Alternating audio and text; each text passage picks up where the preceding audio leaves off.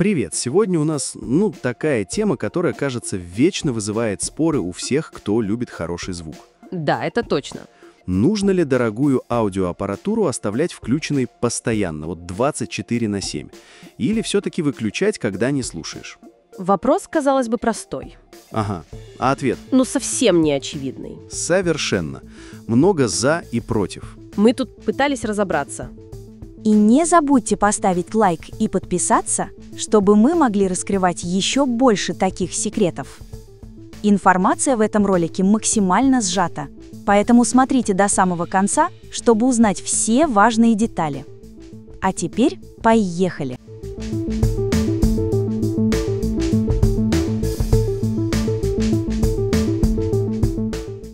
Да, информации много. С одной стороны, вроде как постоянный нагрев, он же медленно убивает компоненты, так? Ну да, есть такое дело. Износ от тепла. А с другой, каждый вот это щелк тумблером, когда включаешь, это тоже стресс для электроники? Электрический, механический. Циклы включения, выключения. Ну и, конечно, мы не могли обойти стороной прогрев, вот эту почти священную процедуру для аудиофилов.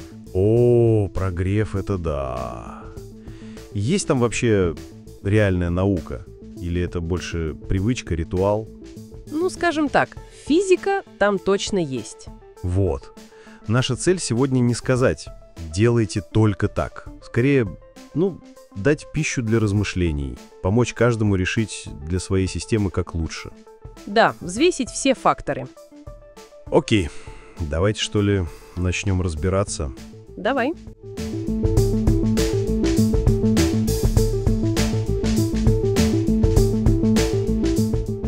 Итак, вот она дилемма.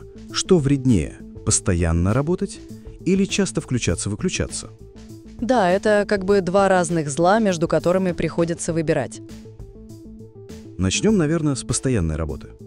Вот оставили мы усилитель включенным на неделю. Что там происходит?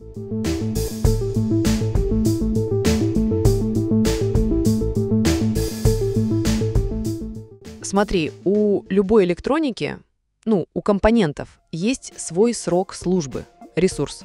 Логично. В современной технике, ну, в транзисторных усилителях, ЦАПах, самое такое уязвимое место – это электролитические конденсаторы. Ага, эти бочонки такие. Да-да. И вот их здоровье очень-очень сильно зависит от температуры. Есть даже такое правило, ну, эмпирическое. Если рабочая температура падает на 10 градусов Цельсия, Так, то срок службы конденсатора может удвоиться. Представь себе. удвоится? Ничего себе. Да. Вот, например, конденсатор рассчитан, скажем, на 10 тысяч часов при 105 градусах. Это такой стандартный промышленный показатель. А если в твоем аппарате он работает при, ну, более прохладных 75 градусах, что вполне реально, да, то его ресурс может вырасти аж до 80 тысяч часов. Это сколько? Больше 9 лет непрерывно? Именно, больше 9 лет непрерывной работы. Впечатляет. Хотя это время может пролететь, ой, как быстро. Ну, а что там ломается-то от тепла? Он как, высыхает, что ли? Ну, в каком-то смысле да. Внутри него есть жидкий электролит. Ага. И со временем, особенно если жарко, он потихоньку испаряется через уплотнение, ну, как бы усыхает. Понятно. И это ведет к двум проблемам. Во-первых, растет его внутреннее сопротивление, ИСР так называемое, а во-вторых, падает емкость. ИСР? Можешь объяснить вкратце? ИСР конденсатора, или эквивалентное последовательное сопротивление, это резистивная составляющая внутреннего сопротивления конденсатора. Она приводит к потерям энергии и снижает его эффективность. Рост ИСР ухудшает работу конденсатора, так как он приводит к потерям энергии, нагреву и падению фильтрующей способности. В основном это касается конденсаторов в сильноточных цепях, например, в блоках питания или фильтрах. В сигнальных цепях, где токи малы, этот эффект гораздо менее выражен. Ого, получается такой замкнутый круг. Совершенно верно, порочный круг.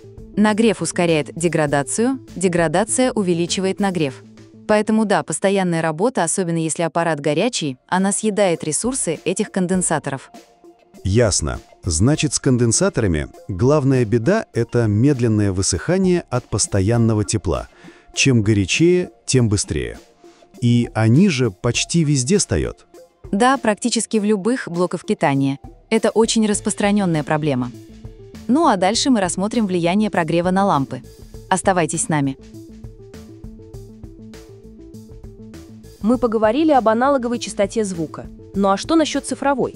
Вы хотите извлечь максимум из вашей аппаратуры. Не секрет, что при конвертации разрешения аудиофайлов можно потерять качество.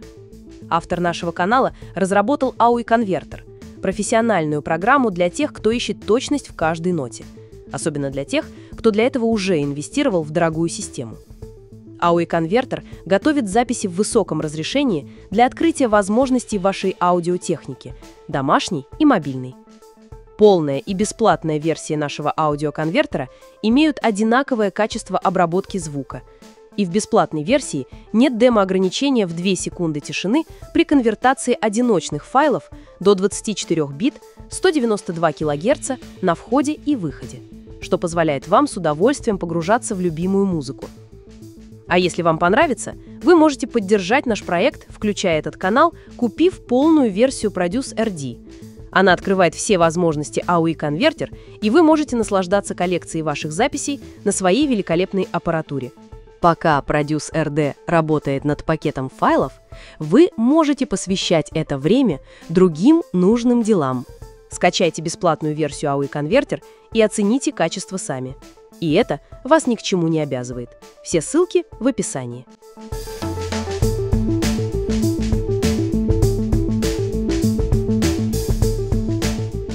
А вот с лампами там другая история. А что с лампами? Их срок службы ограничен постепенным истощением катода. То есть катод, который спускает электроны, со временем делает это все хуже и хуже. Эмиссия падает. Понял. Ресурс у них измеряется тысячами часов. Вот старые лампы NOS, New Old Stock, которые сделали давно, но не использовали. Да, легендарные. Они могли и 3, и 5, и даже 10 тысяч часов отработать. Современные? Ну, обычно поменьше. Две с половиной, пять тысяч часов. Тоже немало. Но все же. Да. И вот тут что интересно, мнения расходятся.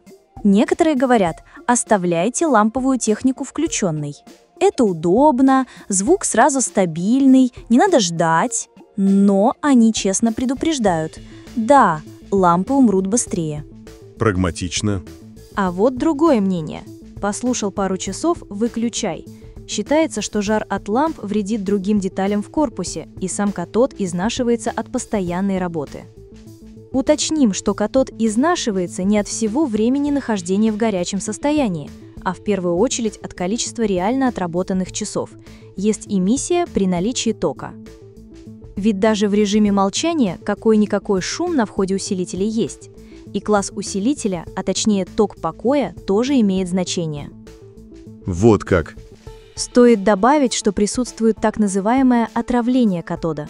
Это когда его активная поверхность портится примесями из окружающего пространства, например, остатками газов в вакууме.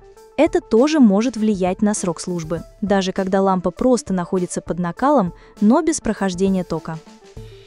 Вот тебе и раз. Два мнения, прям противоположных. Именно. Это показывает, что тут компромиссы, и каждый выбирает свое. Кто-то удобство, кто-то ресурс. И это мы еще пожарных не спросили. Они точно скажут никакой постоянно включенной техники. И будут правы.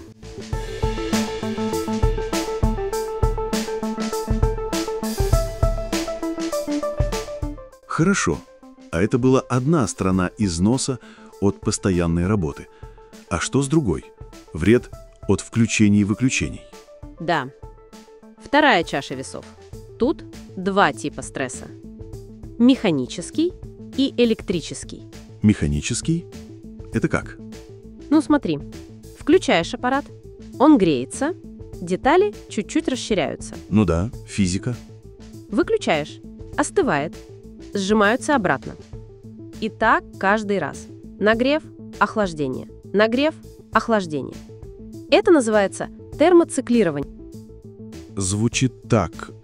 Ну, как будто металлическую скрепку туда-сюда гнуть. Вот, отличная аналогия. Рано или поздно сломается.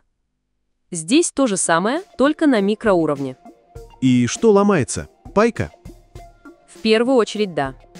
Эти циклы создают напряжение в самих компонентах, но особенно в местах пайки.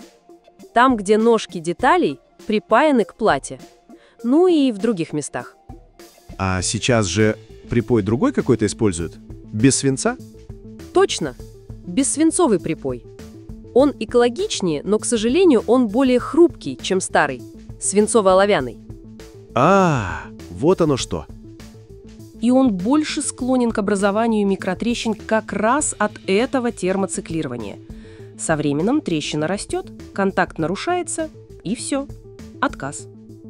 Так что частые включения – это риск именно механического повреждения пайки. Понятно. Это был механический стресс. А электрический? Электрический – это момент самого включения. Это один из самых тяжелых режимов для электроники. Почему? Происходит резкий скачок тока. Его называют пусковой ток или in-rush current. Он нужен, чтобы быстро зарядить большие конденсаторы в блоке питания. Наверное, все замечали, как свет чуть моргает, когда что-то мощное включаешь. Пылесос там или старый телек. Вот-вот, очень похоже. Только этот удар тока происходит на внутренние компоненты.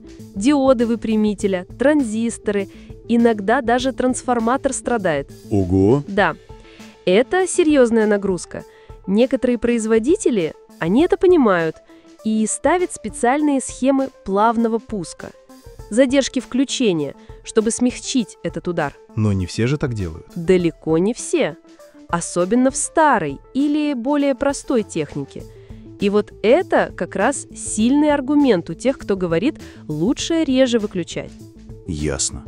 Получается, или медленно умирать от жары, или рисковать внезапной смертью от шока при включении. Примерно так. Но мы забыли еще один важный момент – деньги. Электричество же не бесплатное. О, да. Энергопотребление – это очень важный фактор. И не только финансовый, но и экологический. Конечно. Сейчас вот есть директивы всякие, требуют, чтобы техника в режиме ожидания в стендбае потребляла меньше 1 ватта. И многие современные усилители, они действительно очень экономичные в спячке. Почти ничего не едят. А вот класс А, про него же легенды ходят. А вот класс А – это совсем другая песня. Его схемотехника такая, что он забирает много энергии постоянно, даже когда музыка не играет. Ток покоя у него огромный. То есть он и без музыки греется, и потребляет. Именно. Он всегда на взводе, поэтому для владельцев таких усилителей оставлять их включенными надолго – это могут быть прямо заметные расходы в счетах за электричество. Ну и не очень зелено, скажем так. Да уж, тут поневоле задумаешься, включать или нет. Хорошо, с дилеммой «включить-выключить» кажется стало понятнее. Непростой выбор. Давай на сегодня прощаться. А в следующей серии мы поговорим о уже прогреве компонентов и кабелей всяких. Давай. Ставьте лайки, задавайте вопросы, делитесь своими мыслями и опытом в комментариях, что вы думаете о прогреве аудиоаппаратуры. Все это помогает нам создавать новый контент. Подпишитесь на наш канал и нажмите на колокольчик, чтобы не пропустить вторую часть. И если было интересно, поделитесь ссылкой на это видео с друзьями. До новых встреч, друзья! И пусть ваш звук всегда будет безупречен.